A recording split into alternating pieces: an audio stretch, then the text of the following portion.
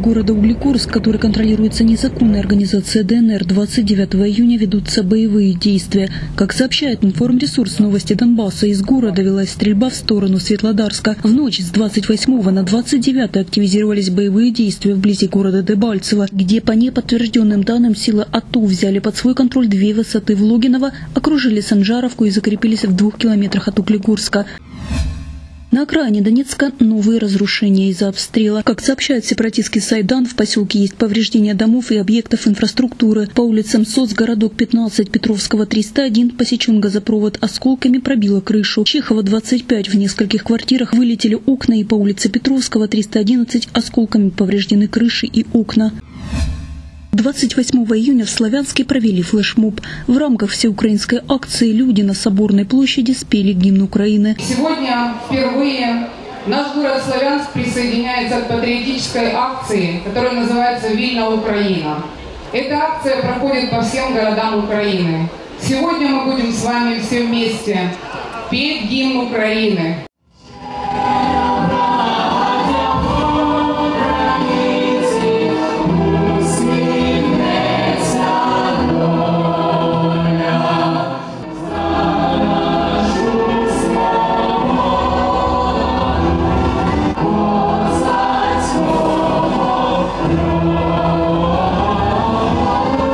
Эстафету исполнения гимна передали другим городам Донеччины. В День Конституции Украины в поселке Былбасовка Славянского района Донецкой области неизвестные повредили государственный флаг и бросили его под двери поселкового совета. На место прибыли участковые, патрульная полиция, голова поселкового совета и местные активисты.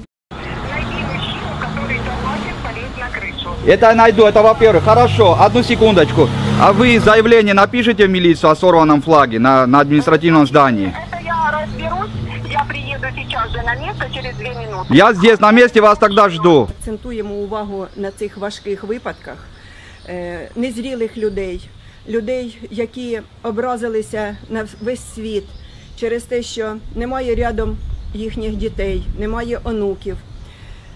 Ми повинні розуміти все це і не акцентувати на це увагу. Позже было выяснено, что флаг Украины был сорван неизвестными со здания опорного пункта полиции, стоящего неподалеку. При детальном осмотре на флаге обнаружены следы подошвы обуви. Спустя три недели руины детского сада на Слободке стали свободным пространством для творчества.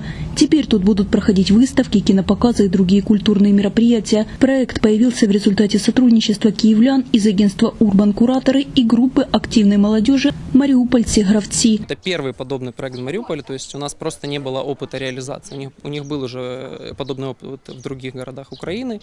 И с помощью их опыта и наших знаний, нашего понимания мариупольского контекста, нашего города, мы вместе это реализовали. Местные жители сначала настороженно отнеслись к новой инициативе и просто наблюдали, но потом и сами присоединились к работе. Буквально вчера мы здесь были до двух часов ночи, и пришли два человека, они уже наблюдают со старта проекта за нами и сказали, что, ребята, давайте мы вам поможем, и до двух часов ночи вместе с нами, бок о бок, просто ради интереса. Это все-таки, как говорю, культурно.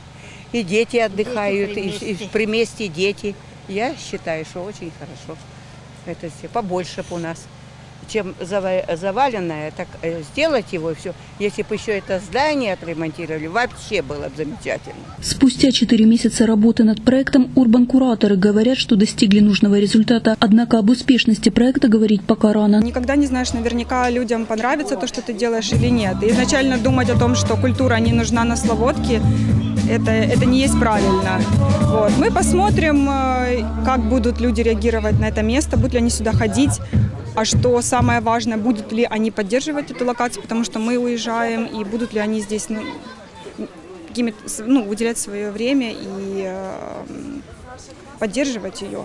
Вот. И э, в большей, большей степени это говорит о том, что наш проект это эксперимент. На карте города гости могли оставить отметки в местах, где, по их мнению, не хватает культурных инициатив. Возможно, в скором времени такие уголки появятся и в других районах города.